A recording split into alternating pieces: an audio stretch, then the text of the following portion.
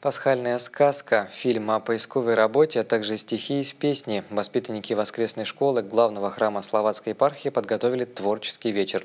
О том, кто стал их зрителями, узнаем из следующего сюжета.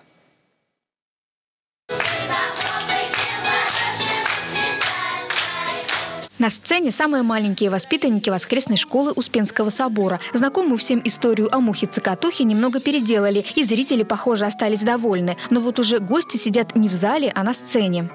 Служба моя проходила, значит, с 43 по 50 около 8 лет отслужил в университете.